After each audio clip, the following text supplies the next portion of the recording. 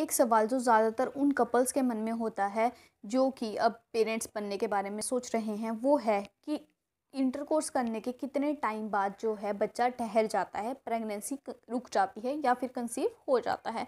तो ये चीज़ आज हम डिटेल में डिस्कस करने वाले हैं कि इंटर कोर्स के कितने टाइम बाद जो है आपके बच्चे की फर्टिलाइजेशन होती है, कब इम्प्लांटेशन होती है और किस टाइम पे करके जो है फर्टिलाइजेशन इम्प्लांटेशन जो है सबसे बेस्ट टाइम जो होता है मंथ का होता है, सब कुछ वीडियो में जो है डिटेल में डिस्कस करने वाले हैं। So video is gonna be very interesting and useful for you watch till the end let start तो मैं आपको डायग्राम की हेल्प से समझाती हूँ, जिससे आपको क्लियर हो जाएगी हर एक चीज़। तो ये है हमारा फीमेल रिप्रोडक्टिव सिस्टम पूरा।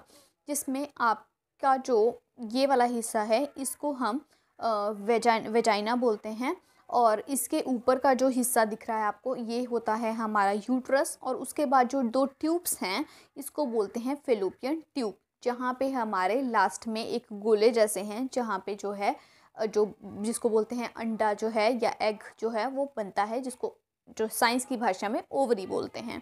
ठीक है तो एक्चुअल में होता क्या है, जब जो है सीमेंस जो हैं जो स्पर्म्स होते हैं जब आ, वो आपके विजाइनल पार्ट में एंटर होते हैं ड्यूरिंग इंटर कोर्स तो ऐसे में वो स्पर्म्स जो हैं इतने ज़्यादा मोटाइल होते हैं उनकी मोटिलिटी स्पीड इतनी ज़्यादा होती है कि वो आपके वेजिनल पार्ट से फेलोपियन ट्यूब में सिर्फ़ एक ही दिन में जो है पूरा जो सफ़र है वो तय कर लेते हैं। मतलब अगर आपका इंटरकोर्स आज हुआ है तो आज के दिन ही आपके जो वेजिनल पार्ट से जो स्पर्म्स थे, वो जो हैं, आपके फिलोपियन ट्यूब में सारे एंटर हो जाएँगे।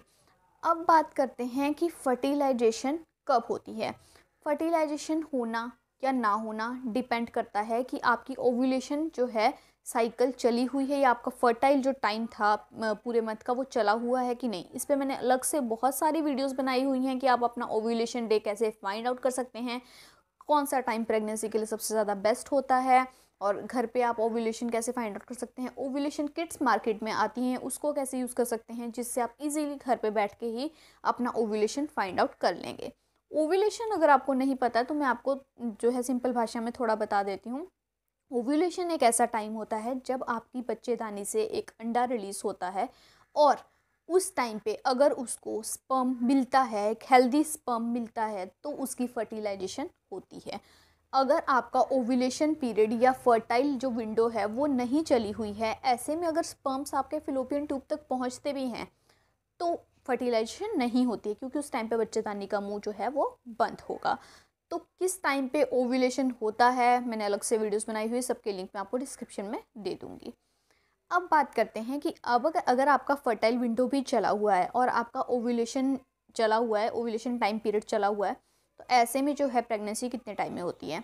जब आपका जो डे वन में ही जब वो जो है बच्चेदानी के मुँह के पास आपके स्पम्प्स एंटर हो जाएँगे तो वो वहाँ से आपके ओवरी को फर्टिलाइज्ड कर देंगे। बच्चेदानी का मुँह खुला होता है तो ओवरी को जो है वो वहाँ से एक जो स्पर्म है बिलियन ऑफ़ स्पर्म्स में से सिर्फ़ एक ही स्पर्म हमें चाहिए होता है फर्टिलाइजेशन के लिए और वो एक स्पर्म जो है उसको फर्टिलाइज कर देता है।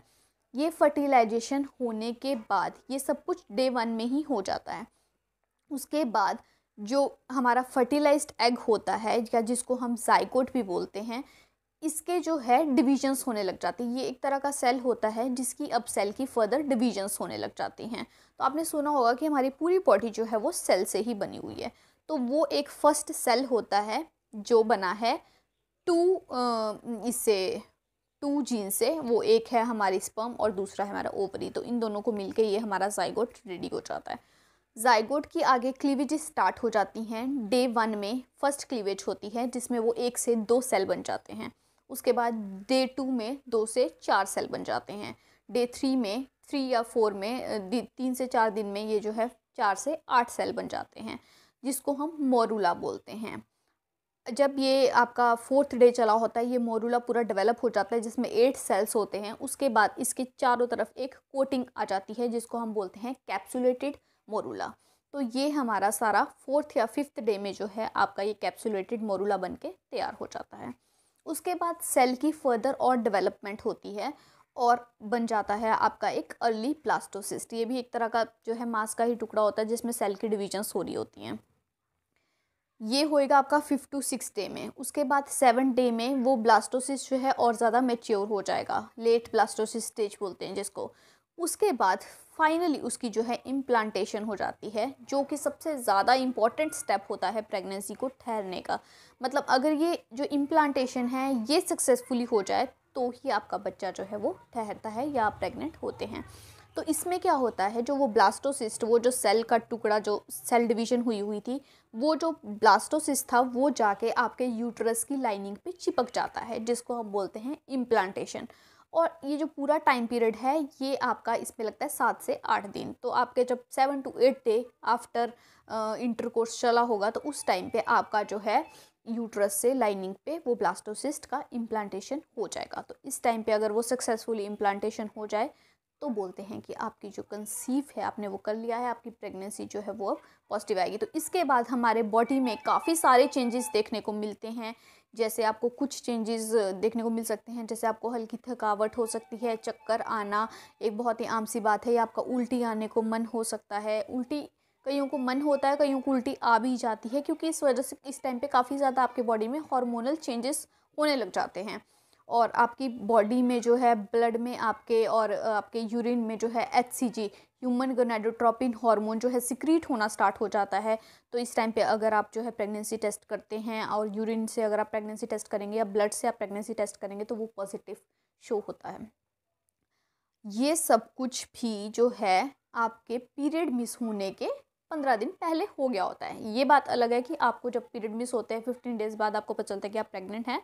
और क्योंकि जो नॉर्मल ये जो सिम्टम्स देखने को मिलते हैं कि आपको थकावट आ रही है, चक्कर आ रहे हैं, इन सबको हम नज़रअंदाज ही करते हैं। तो पहला जो सिम्टम हम ज़्यादातर मानते हैं वो यही है कि हमारे पीरियड्स जब मिस हो गए हैं। तो ये सब चीज़ें उससे भी दस से बारह दिन पहले हो गई होती है इम्प्लांटेशन और ये सब कुछ, और आपकी यूरिन में जो है एच भी निकलना स्टार्ट हो जाता है सिक्रीट होना स्टार्ट हो जाता है। तो आप इंटरकोर्स के सेवन टू एट डे में आपकी जो प्रेगनेंसी है वो ठहरती है, लेकिन डिपेंड करता है कि उस टाइम पे आपका ओव्यूलेशन चला हुआ है या नहीं चला हुआ। सो आई होप आपको सब कुछ समझ आ गया होगा। मैंने आपको क्लियर कर दी एक एक चीज़ की, कैसे आपकी जो है जो है फर्टिलाइजेशन होती है, कैसे डिविजन्स होती हैं, कैसे इम्प्लांटेशन होती है, कब आपको जो है उसके सिम्टम्स नज़र आने जो है स्टार्ट होते हैं और कब जो है आपको एक फाइनल जो है, जब आपके पीरियड्स मिस होते हैं, तब पता चलता है कि आप प्रेग्नेंट हैं। फिर आप टेस्ट करके जो है एचसीजी अगर पॉजिटिव है तो पता चल जाता है कि प्रेग्नेंट है। तो सबसे इंपॉर्टेंट चीज़ अगर आप जो है प्रेगनेंसी के बारे में सोच रहे हैं तो वो है कि एक राइट टाइम पे जो है इंटरकोर्स करना बहुत ज़्यादा ज़रूरी है ताकि ओव्यूलेशन जो है उस टाइम पे हो और फर्टिलाइजेशन और इम्प्लांटेशन सक्सेसफुली हो सके। अगर आपके माइंड में किसी टाइप का कोई कन्फ्यूज़न हो, मुझे कमेंट सेक्शन में ज़रूर बताइएगा। वीडियो अगर अच्छी लगी हो वीडियो को लाइक शेयर कीजिए। चैनल को सब्सक्राइब करके बेल आइकन ज़रूर दबा लीजिएगा, क्योंकि इस चैनल पर आपको pregnancy care child care gender prediction related videos देखने को मिलती रहेंगी। Thanks for watching